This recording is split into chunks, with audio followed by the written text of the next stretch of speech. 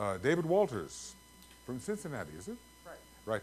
And David has been a long time uh, student and researcher on the subject of Vulcan. He's written a, uh, a rather large book on the subject and uh, probably knows more about Vulcan than anyone I know. So, interestingly enough, his subject is on Vulcan. Maybe with a little Saturn thrown in. These we welcome David. Thank you, David. Okay. Take it away. All right, first of all, I just wanted to, few years ago, I started, I, I've been blessed that Cincinnati has a large collection, uh, the public library has a large collection of Alan Leo's modern astrology from eighteen ninety-five to roughly nineteen hundred and five. And I, I scanned it, and I was able to get the predecessor online, the Astrologer's Magazine. We just need you to be on microphone. Seven. Okay, so just- Test, test, test. Is it? Is it? Okay. Okay. And what I've done is put them on a DVD, and they'll be available at the bookstore. Alan Leo, uh, was more than anything else, the first person who got out of and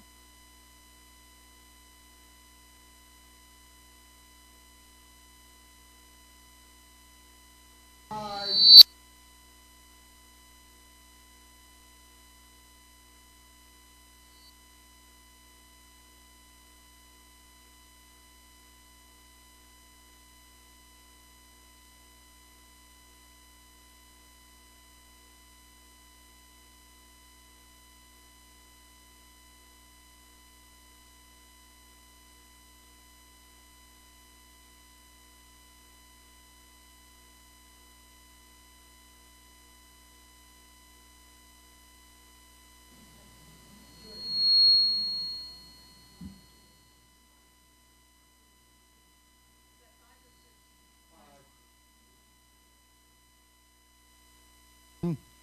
he okay there we go. And what he did was also serialized all of his books in it. And he the first editions which were in modern astrology really were more esoteric than the final published versions. So they're all on here. Now this is funny. I remember talking with tanya the first day that i got here at breakfast, and every time I tried to say Alan Leo, it came out Alan Oken, and and I couldn't figure out why until oh my gosh, what if Alan Oken was the next incarnation of Alan Leo? And it fits. Both were very, you know, fire signs um, and everything else and I emailed Alan after the conference last year, and he said he got an immediate response. I might well have been. it was his response. Ah. Anyway, the interesting thing is, Michael, is that the Sutcliffe character, who we figured out uh, in '98 or so that I was, also knew Alan Leo very well, and as I just told Philip a little, while ago, uh, he was one of the people who set up one of the initiations for one of the times for Krishnamurti. I, there was an article in the Theosophist about it. So it gets interesting. So these will be available at in the bookstore tomorrow at a very reasonable cost. Um, and as I try to get more of them, um, I will make sure that next year that they're made available. Okay, Vulcan, 1986. I attended Alan Oken's lecture on, on esoteric astrology at a UAC conference. And that was the first time I ever heard about Vulcan. And so when I got back home, I found that, found the Weston book somewhere and read it. And gee, my scientific fifth grade mind said, there's got to be more than this. But I couldn't find anything. Then I happened to read a book about the discovery of Pluto called Planets X and Pluto. And in there was one chapter on Vulcan. Um, and that I'll get into what he said. But the nice thing was is that it had references in the scientific literature. Oh my. And fortunately, between the public library in Cincinnati and the University of Cincinnati libraries, they had 80, 90 percent of what I wanted. And as I was just telling somebody else, yeah, there'll be a third edition, hopefully next year. And the stuff I couldn't get was mostly in Europe, and now it's more available due to, and I will start trying to get after it. Alrighty, where do we begin?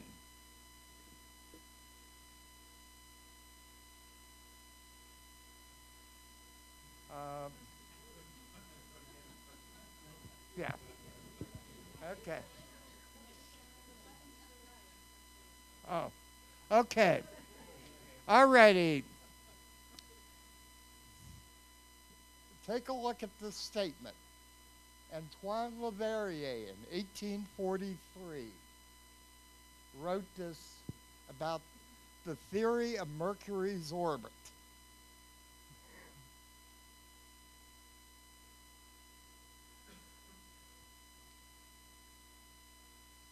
Ray 4, you better believe it.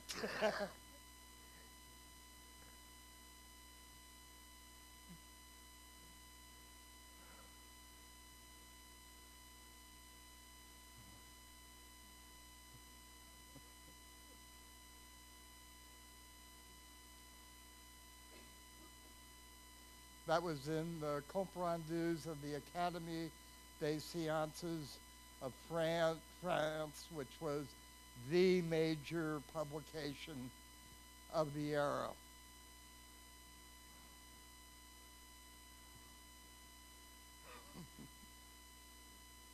yeah. So, in 1849, he had gone back. In the meantime, he had discovered Neptune. And so he finally figured out there were 38 seconds of the perihelion movement per century to represent all the transits to a precise second. And the only way that that was feasible was for a planet to be inside the orbit of Mercury. So, okay, let's go to the Bailey material. Treatise on Cosmic Fire. Look at the last statement there.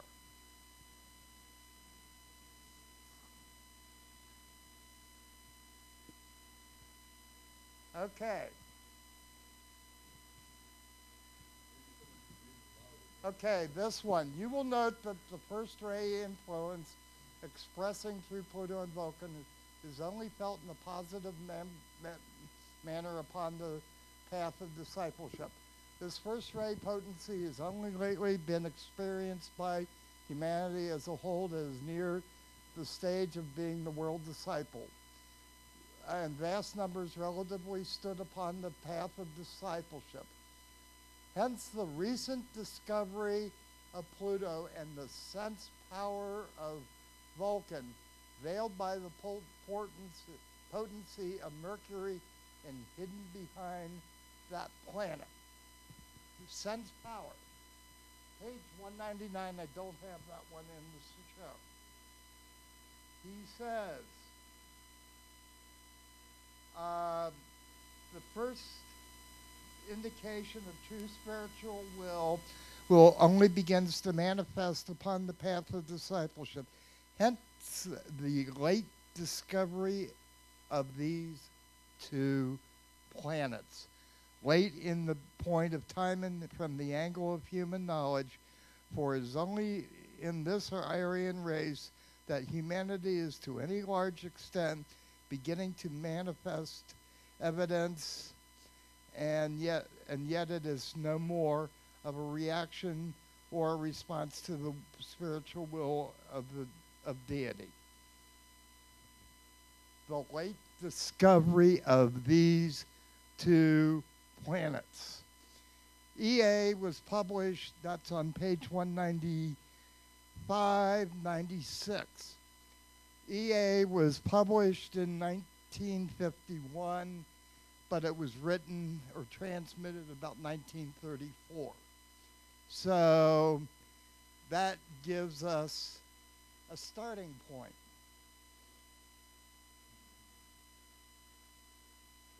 Alrighty. This is just um, a statement about the power of Vulcan. This is a situation which confront the know- knowers of the race in their various grades of knowledge and illumination at this time. Neither of these influence, either the Taurian or the Aquarian, can be avoided. As you will see when we study the analysis of its rulers, Tar- Taurus forges the instruments of constructive living, of destruction. It forges the change which bind or create the key which unlocks the mystery of life. It is in this foregoing process, forging process, with its consequent clamor, which is going on at this time in the most potent manner. Vulcan controls the anvil like processes of time and strikes the blow which shapes the metal into what which is desire and this is true today as never before okay. Um, let me at this point just don't worry about that. Um, Leverrier, when he came up with his conclusions, went back through all the so called observations of unknown bodies near the sun, and there really weren't any that really fit any test that wor- worked out. Um, then in 1859, a French country doctor by the name of Les Carbeau observed a body transit the sun, and let me get to the chart of that right there. Uh, is there any way we can move it over? Okay. Okay.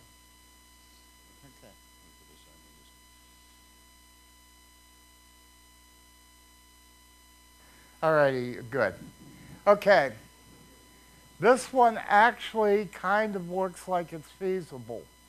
Um, and Leverrier, what Leverrier did was once he heard about it, is went down to Orgères, which is near Paris, and questioned the guy unmercifully and concluded that it was an observation. And it seems to be true. But, and I made this observation to somebody yesterday, that what needs to be done with the observational data is it needs to be redone. That it needs to be done using the measures of today because simply they people were com- the computers and they used logarithms for multiplication and those tables had errors in them so it would be nice and i'm going to check with the paris observatory hey, can it be redone? Can we see what?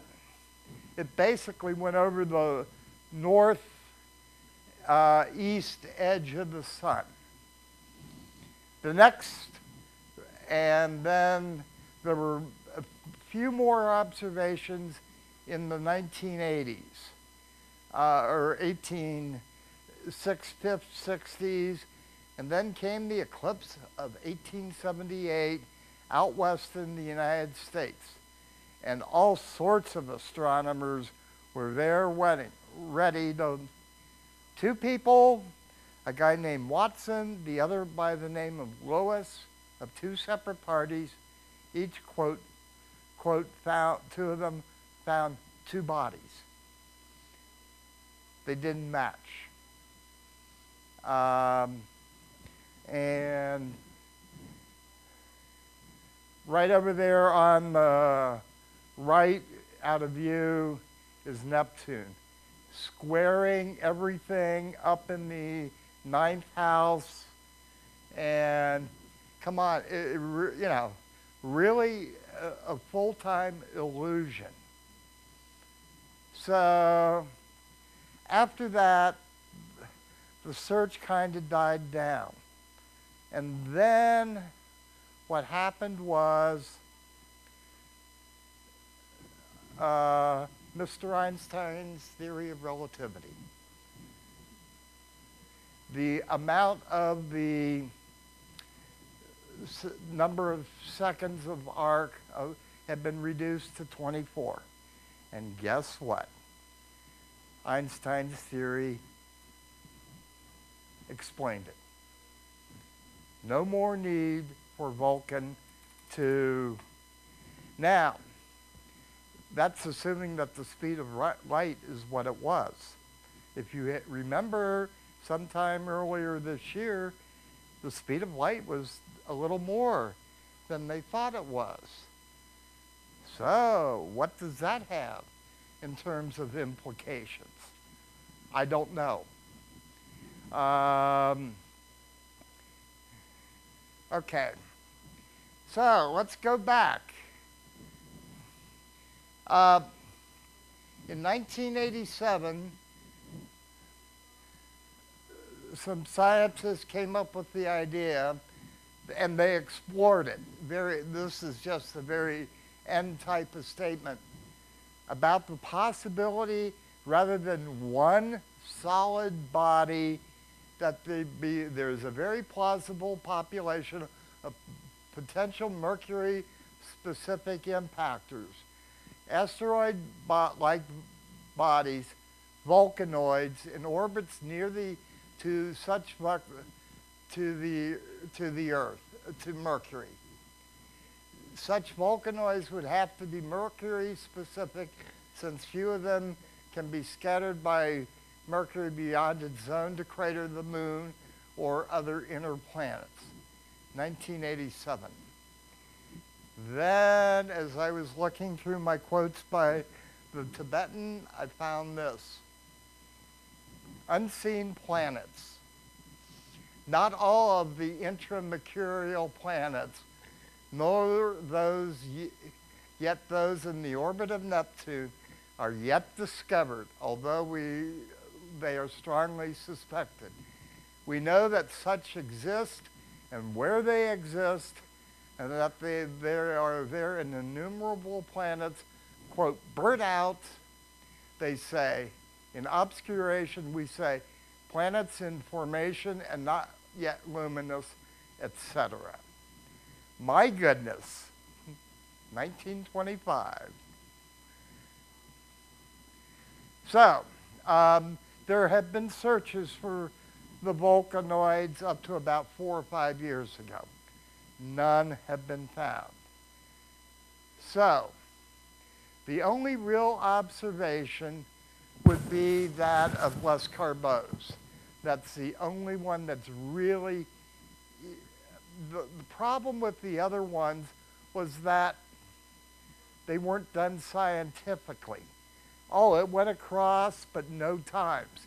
Lescarbault took the care to time, make notes of times and places on the sun that it was when it, he didn't see when it entered, but shortly thereafter, but he marked the exit time. That is perfectly a beautiful scientific observation. So we go over those. Okay. Solar Fire has two versions of Vulcan. Baker's orbit, which says that Mercury, uh, Vulcan is always within three degrees of Mercury.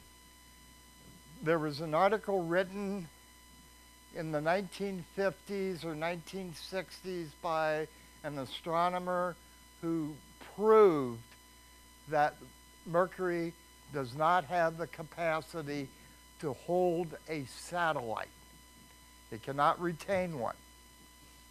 And in 1993, in his dictionary, dictionary of astrology, Baker moved to the Vulcanoid theory. Um, I think that was, he had been getting too much complaints about it. Okay, the other one is that of L.H. Weston, and then after him, Carl Stahl. Stahl, um, Weston's orbits were based on 12 observations that are mostly suspect. Uh, the only one that I even really found was that of Lescarbault's. Uh, like, for example, there was one of a Captain Bester in 1908 off a steamer outside of off the west coast from Portland. But it didn't even really have a date. So, um, again, when you're talking about a planet that's going to go around the sun in 20, 18 to 20 days, you better be as accurate as you can. Um, back in the late 80s, I had gotten into this enough that I was suspicious of it. And so Neil Michelsen generously generated an ephemeris for Weston's, using Weston's orbit. And I found out of the 12 observations that only four of them, including Lescarbault's, in that, that Vulcan was retrograde at the time. In or, and in order for a planet to transit the sun, it must be retrograde. So, uh, because it's going across through inferior conjunction, and that's always retrograde. Okay, the other thing is there are six orbital elements for any planet. And three of them are the astronomical unit distance, which tells how far it's from the sun, the eccentricity of the orbit, and the maximum elongation. Now, there are simple algebraic formulas to convert any two to the third. So if I took the astronomical distance and the eccentricity, you get the maximum elongation. Guess what? It wasn't that of what he gave me. And if I took the eccentricity and the maximum elongation, I didn't get the astronomical unit. So, neither one's valid.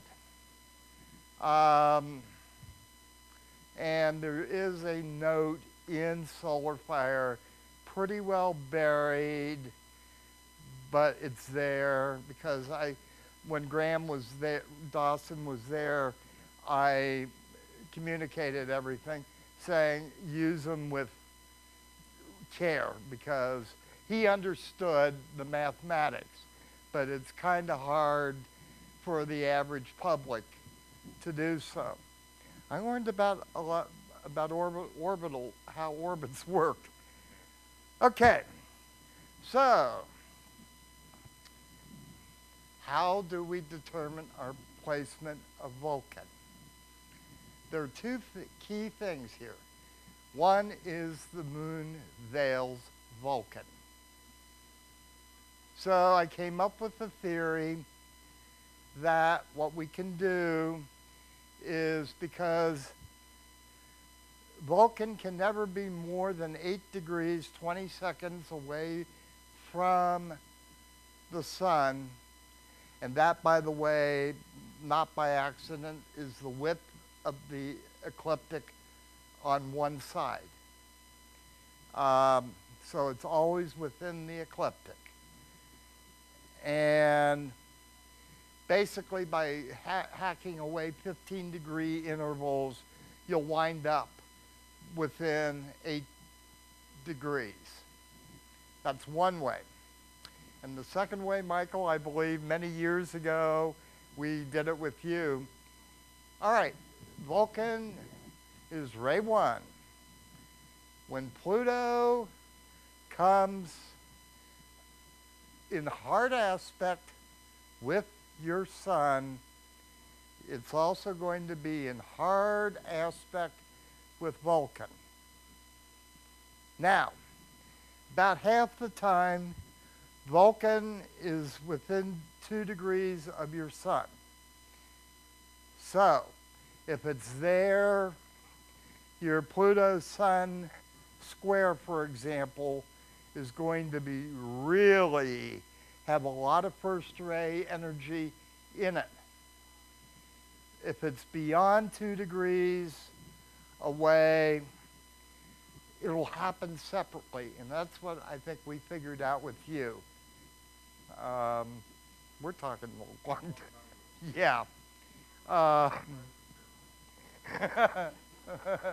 um, but that that's something you as astrologers should look at when when you get get a sense that, that if you know the person is having a uh, Pluto's approaching, like for example, it's approaching my sun now, um, and isn't quite there. But yet, I knew I was able to figure out where my Vulcan was. It's at 10 Capricorn, and it got up to 9 before retrograding. So I've been using that power for transformation rather than destruction. and that's the key. Because on the personality level, person, Pluto transits are all about destruction. On the soul level, it's about transformation. So, you have to, and so ask questions. Are there things going on in the person's life that are just pure first ray? One interesting comment I'll make right now. Officially, Pluto is not a planet anymore. So, officially, astronomy, the first ray doesn't, quote, exist anymore because Vulcan has never been rediscovered. And that's it. Okay. That's it on that. So, um, I found that to be curious. Um, but yet the energy is there. It's just more latent, unfortunately. Um, okay, I'm not going to do charts here. I will be happy to do them throughout the conference. So if you bring up your chart, I'll try to help you find your Vulcan. Now, questions?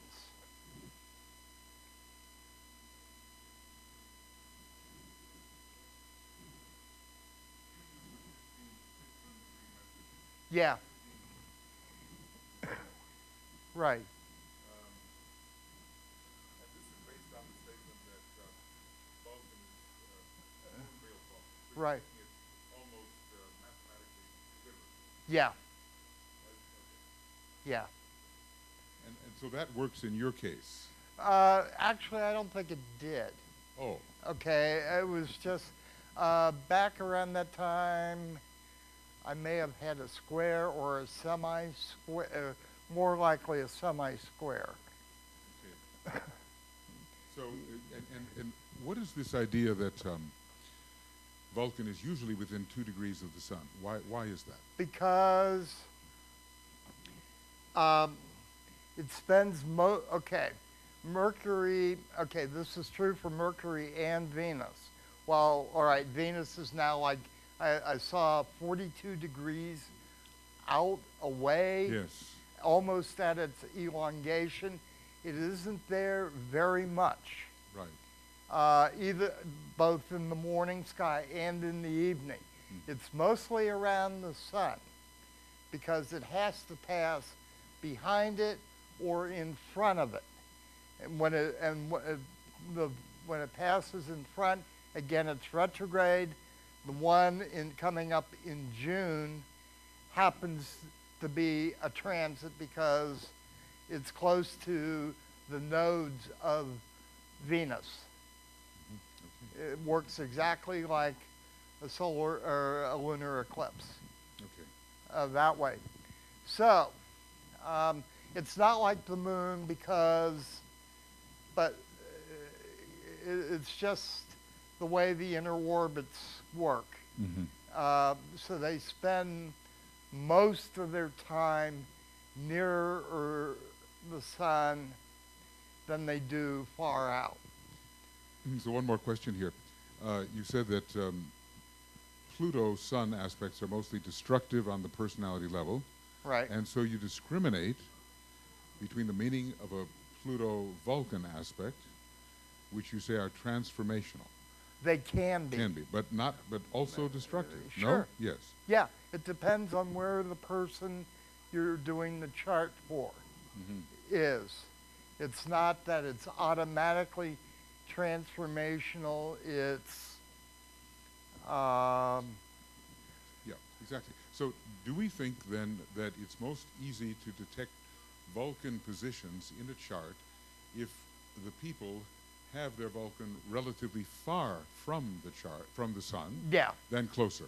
yeah, because you're not getting the energy, and particularly if the sun doesn't have any, well, if the sun has tight aspects with the other planets, then then um, the the Vulcan, Pluto Vulcan will show up because it isn't involved with the sun. Right, right, exactly. So are you undertaking some research here with people's charts? You know, in other words, you're, you're giving them their Vulcan position somewhat, okay? Yeah. But the question is, uh, can we confirm this in any way? Sure. Okay. If any of you are, uh, you know, in this group this size, there are, the odds are somebody is having a Pluto hard aspect sun. Those would be the people to, that I would like to talk with more because we can work on it Mm-hmm. um, uh, rather than okay now and um, because that way we can work on making it rather than a destructive um, and we can check on where so right now obviously we're talking about uh, 12 or about 8 to 10 of the cardinal signs and 25, 27, 26, 28 of the mutables, Scorpio, because those are the semi-squares. Does anybody here have their sun within the early uh, 8 to 10 of the cardinal signs or late mutables? I do. I'm willing to volunteer. It seems about time. no, no, not, not. But you know, look, it, maybe this is the chance not just for David to give you his impression of where the position is, but to work with you a little bit to look for those destructive moments in your life which might help zero in on the actual Right. position. You might want to hunt him up, you know. He's probably less elusive than Vulcan. and uh, work a little bit on this. It would seem uh, a good opportunity. I intend to hunt you up, David. Okay. Okay, I've got a square of sun to uh, of Pluto to the sun. Yeah, yeah. right now? And if I recall, the last time was when it was semi-square. Oh, okay. Well, I forgot. I've repressed that crisis. because we did this about in the mid 90s. Mid '90s. Yeah, Yeah, that would have been about right. Okay. Well, good. sure. Yes. Check one, two.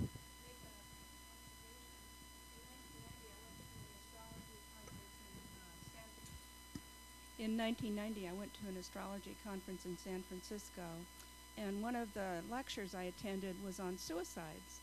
Um, the lecture itself wasn't very interesting, but at the end there were questions uh, or comments, and the woman sitting behind me was a nurse at uh, San Francisco General Hospital who was an astrologer, and she said that she had been making a note of all the suicides brought in, uh, just with their birth date, and looked at the aspects, and she said 80% of them had a Pluto squaring their sun. Okay, and and if that's the case, there's a good chance it was squaring their Vulcan. Remember that Pluto's the destructive aspect of the first ray. Vulcan is the creative. And sometimes, all right, by transformation, that means you've got to let go of some of the crappy stuff you're doing in your life so that you can allow the creative stuff to start flowing. Yeah, You know, similar to that, uh, Bonnie, um, in, in Denmark, um, we have a friend who has a cancer hospital, and he is an astrologer. So, so many people that are checking in uh, with uh, cancer, uh, Pluto square the sun. See, or Pluto aspects very, very strong. Other, other things as well. So that's getting it out of your system, so to speak. Yeah, and I'll mention this as an- a point of interest. Um, a couple years ago, I noticed some 21 year old people, especially women, started becoming really interested in me. I was wondering why.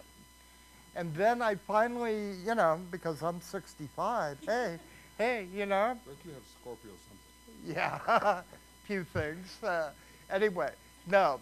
So anyway, I finally did the chart of one, and it was oh my God, they have Saturn Neptune conjunct my Sun Mars, and their Uranus conjunct my Mercury. Um, yeah, Okay. that, that, that's enough. Uh, now, in particular, there's one that I won't go into. No, don't go into it now. No, but, but, no. And so, my question is what's going to happen with this group of people conceived and born between 88 and 90 who, when Saturn, when Pluto starts walking over their uh, sun, uh, their Saturn Neptune, it walked over their Uranus this year and last year. So, um, because um, this is something I, I, I got into, which I won't get into any further here, but um, these people, you know, there are times at which the outer planets form aspects that permit, I, I believe, more soul oriented people to incarnate. And 1988 to 90 was a particularly important. And the fact that, you know, up, uh, up to a dozen women have shown some interest in me yeah, yeah. I'm going, huh? You know, I'm not doing anything. They're Look, I'll tell you what. Go see David. Uh, no, but the point is, is that they seem to sense something out of me, and um, I'm I'm trying to, you know, we ought to be as astrologers, be looking for other time periods, because that way, we as astrologers can re- realize this when they're young. Right. Okay. Okay, David. Th- we thank you for your latest on Vulcan. Okay. Okay. Just uh, go go see David, and he'll um, find something in your chart you don't expect.